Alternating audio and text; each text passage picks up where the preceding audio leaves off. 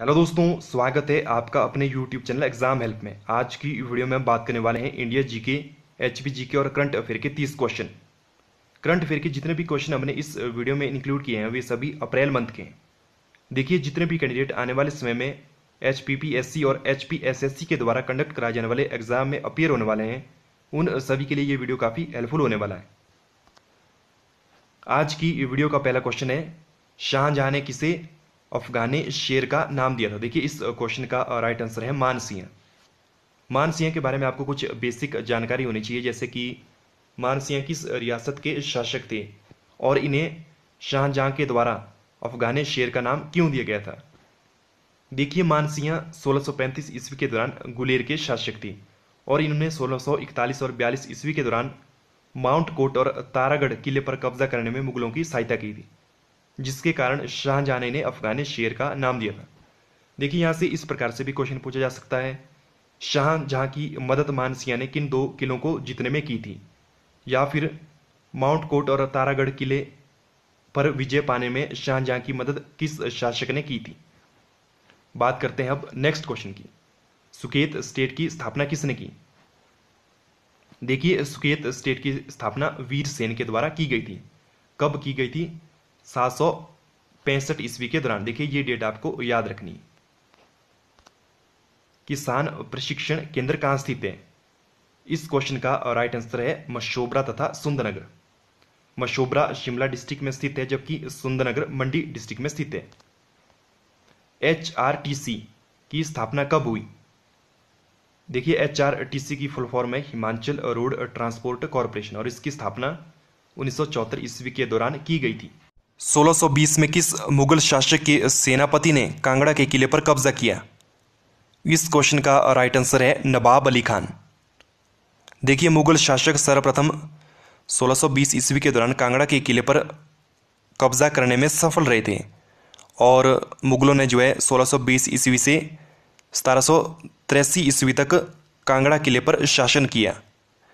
बात करते हैं नेक्स्ट क्वेश्चन की। हिमालय की अजंता किस मठ को कहा जाता है। इस क्वेश्चन का राइट आंसर है ताबो मठ। और ये क्वेश्चन जो है काफ़ी इंपॉर्टेंट है। देखिए, ताबो मठ के बारे में आपको कुछ बेसिक जानकारी होनी चाहिए, जैसे कि ताबो मठ कहाँ पर स्थित है और इसे क्यों हिमालय की अजंता कहा जाता है। ताबो मठ लाहौल स्पीति में, स्पीति घाटी में, ताबो नामक गाँव में स्थित है और ताबो मठ में दीवारों पर चित्र और मूर्तियाँ बनाई गई हैं। और यहाँ पर पुराने धर्म ग्रंथ और पांडुलिपियाँ हैं और ताबो मठ के चित्र अजंता के चित्रों से मेल खाते हैं, जिसके कारण ताबो मठ को हिमालय की अजंता कहा जाता है। देखिए, ये थी ताबो मठ के बारे में कुछ इंपॉर्टेंट जानकारी, जो कि आपको याद रखनी है। चिपको आंदोलन चंबा में किसने शुरू किया? इस क्वेश्चन का राइट आंसर है कुलभूषण उपामान्यू। चिपको आंदोलन की बात करें तो सबसे पहले इसकी शुरुआत कब हुई थी? देखिए, इसकी शुरुआत उन्नीस सौ तिहत्तर को हुई थी और कहाँ हुई थी? उत्तराखंड में हुई थी। वहाँ पर कुछ महिलाओं ने पेड़ों को बचाने के लिए इस आंदोलन की शुरुआत की थी। तारिक रियासत सिरमौर नामक पुस्तक के लेखक कौन है? इस क्वेश्चन का राइट आंसर है कंवर रणजौर सिंहा। रेणुका रिश्ते में ऋषि जमदग्नि की क्या लगती थी? देखिए, ये क्वेश्चन काफ़ी इजी है और मुझे उम्मीद है इस क्वेश्चन का आंसर आपको मालूम है। और इस क्वेश्चन का सही आंसर है पत्नी और रेणुका परशुराम की माँ लगती थी। ये भी आपको याद रखना है। हमीरपुर एवं उन्ना ज़िले किस पर्वत श्रेणी क्षेत्र में स्थित है? इस क्वेश्चन का राइट आंसर है बाहरी हिमालय। देखिए, ये क्वेश्चन भी काफ़ी इंपॉर्टेंट है और कई बार एग्ज़ाम में इस प्रकार से क्वेश्चन पूछा जा चुका है। जैसे कि कोई डिस्ट्रिक्ट या फिर डिस्ट्रिक्ट में स्थित कोई स्थान किस पर्वत श्रेणी क्षेत्र में पड़ता है? देखिए, हिमाचल को तीन पर्वत श्रेणी क्षेत्र में डिवाइड किया गया है। बाहरी हिमालय क्षेत्र, आंतरिक हिमालय क्षेत्र और बृहद हिमालय क्षेत्र।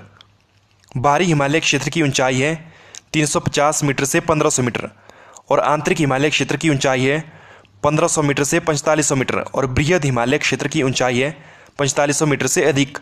अब हम बात करते हैं कि किस पर्वत श्रेणी क्षेत्र में कौन सा जिला या फिर कौन सा क्षेत्र पड़ता है। तो देखिए, बाहरी हिमालय क्षेत्र में कांगड़ा के कुछ भाग, हमीरपुर, बिलासपुर उन्ना मंडी, सोलन और सिरमौर शामिल हैं।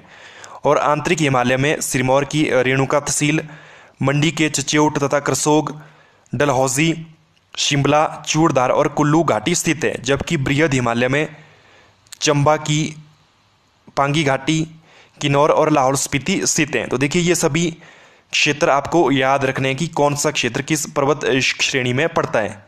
बात करते हैं नेक्स्ट क्वेश्चन की। पालो ने अपनी राजनीतिक शक्ति किन के हाथों गवाई? तो देखिए, इस क्वेश्चन का राइट आंसर है सेन पालों की बात करें तो देखिए, पालों का शासन मुख्य रूप से पूर्वी भारत में पश्चिम बंगाल में था और पाल वंश के संस्थापक थे गोपाल और इन्होंने 750 ईस्वी के दौरान पाल वंश की स्थापना की थी। किस वर्ष वास्को डी गामा का जहाज़ कालीकट पहुँचा? तो देखिए, ये क्वेश्चन कई बार एग्ज़ाम में पूछा जा चुका है। और इस क्वेश्चन का राइट आंसर है चौदह सौ अट्ठानवे ईस्वी। और वास्को डिगामा से एक दूसरा क्वेश्चन बन सकता है कि वास्को डिगामा के जहाज़ का क्या नाम था? तो देखिए, इनके जहाज़ का नाम हेक्टर था, जो कि पहली बार भारत के कालीकट तट पर पहुँचा था और वास्को डिगामा पुर्तगाल के निवासी थे। निम्न में से किसे सफ़ेद कोयला भी कहा जाता है? तो देखिए, जल विद्युत को सफ़ेद कोयला भी कहा जाता है। निम्न में से किस राज्य में विधानसभा में अनुसूचित जनजातियों के लिए आरक्षण प्रदान नहीं किया गया? तो देखिए, पंजाब में विधानसभा में अनुसूचित जनजातियों के लिए आरक्षण नहीं दिया गया, जबकि राजस्थान, बिहार और हिमाचल प्रदेश में विधानसभा में अनुसूचित जनजातियों के लिए आरक्षण प्रदान किया गया है। संपूर्ण विश्व में प्रतिवर्ष मानव अधिकार दिवस कब मनाया जाता है? तो देखिए, ये क्वेश्चन भी कई बार एग्ज़ाम में पूछा जा चुका है और इस क्वेश्चन का राइट आंसर है दस दिसंबर।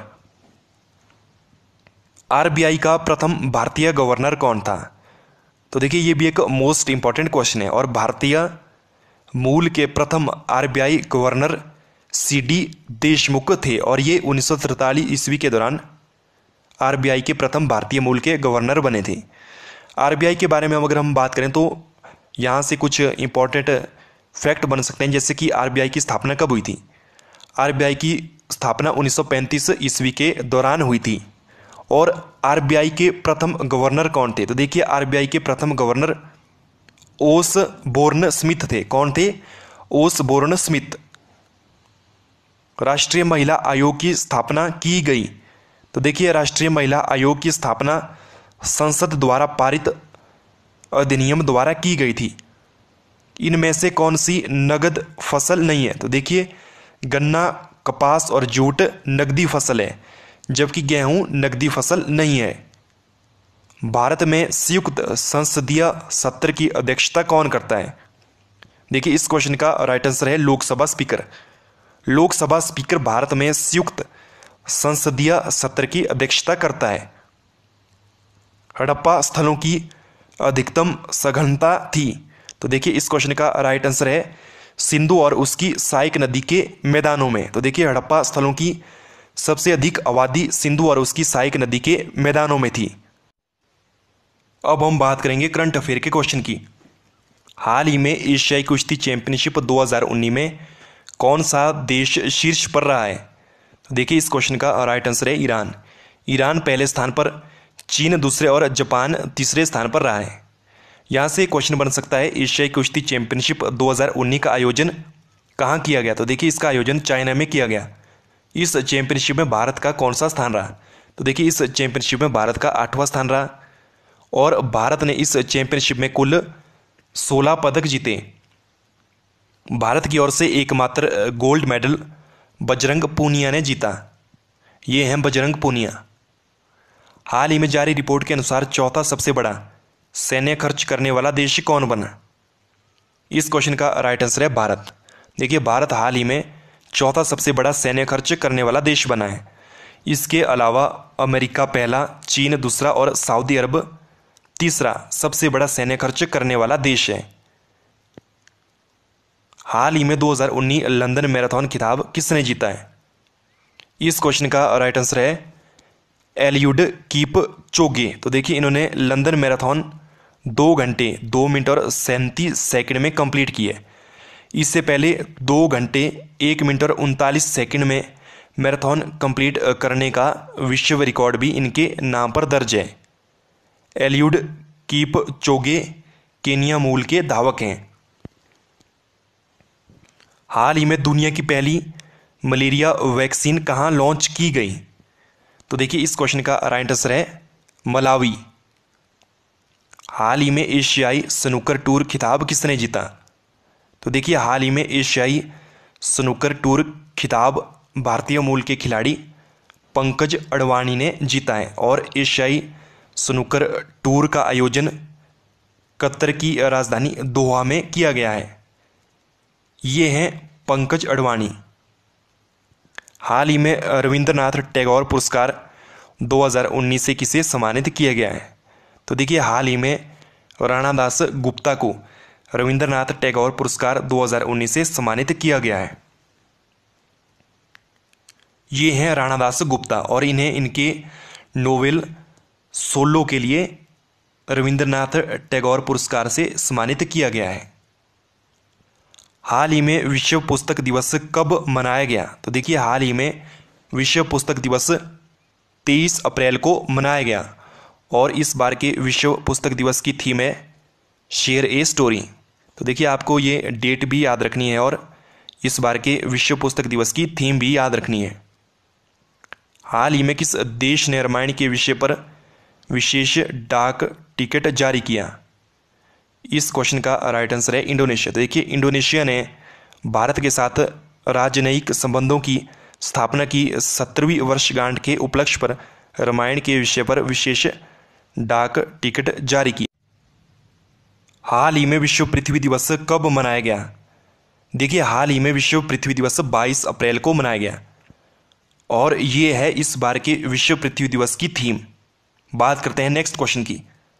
हाल ही में बैडमिंटन एशिया चैंपियनशिप खिताब किसने जीता? तो देखिए, इस क्वेश्चन का राइट आंसर है कंटो मोमोटा। ये है कंटो मोमोटा और ये जापान मूल की खिलाड़ी हैं।